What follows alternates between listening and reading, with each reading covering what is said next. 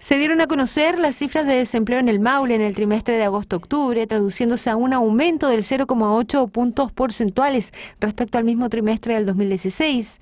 Asimismo, la cantidad de personas ocupadas, cifra que llegó al 3,1%, se vio incidida por sectores como enseñanza, industria y transporte. Estas áreas generaron 14.000 eh, puestos de trabajo en la región. Hubo una leve alza en el índice de desempleo provocada en parte por la eh, llegada, el ingreso al mundo del trabajo de personas que estaban en la inactividad laboral. Estos son personas que básicamente se dedican al cuidado de terceros, niños, adultos mayores, que han sentido, y hay que eh, destacarlo, han sentido la confianza de ingresar al mercado del trabajo, ¿cierto?, a buscar una oportunidad. Por otro lado, las áreas que presentaron incidencias negativas respecto a las personas ocupadas fueron el agro y pesca, administración pública y salud.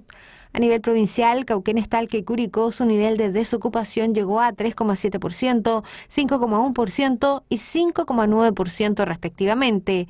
Por otro lado, la provincia de Linares tuvo una tasa de desocupación por sobre la media regional, alcanzando el 8,3%. La comuna de Linares, muchas veces calificada como la capital del desempleo, tuvo un descenso en su índice de cesantía de tres puntos, confirmando una tendencia a la baja que durante todo este año no ha mostrado cifras que superen los dos dígitos.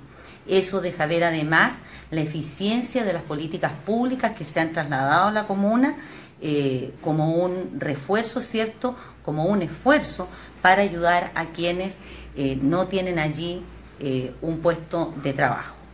En segundo lugar, destacar también eh, un dato que nos entrega esta muestra que tiene que ver con la cantidad de personas que tiene contrato de trabajo.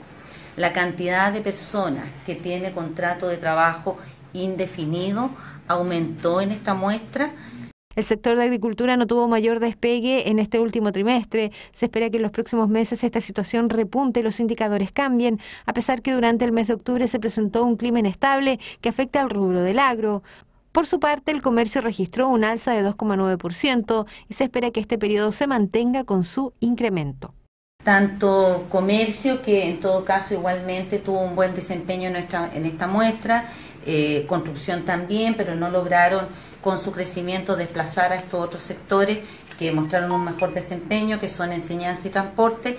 Esperamos de todas formas que comercio y agricultura con el inicio de las faenas agrícolas muestren eh, un mejor, eh, una mejor actividad, cierto, mayores contrataciones de aquí a fin de año y que eso también eh, logren empujar cierto las cifras de, de empleabilidad. Por su parte, el promedio de horas trabajadas en el Maule bajó de 1,27 horas respecto al mismo trimestre del 2016.